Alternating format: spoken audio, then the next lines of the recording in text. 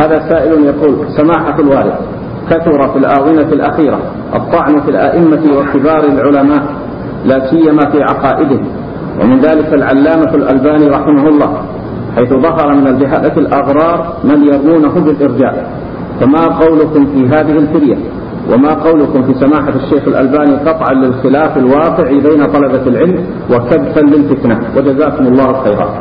رجعنا إلى الكلام الذي مر وهو تجريح العلماء والكلام في الناس وأن هذا من الجرح والتعديل هذا كلام لا يجوز في العوام فكيف بالعلماء؟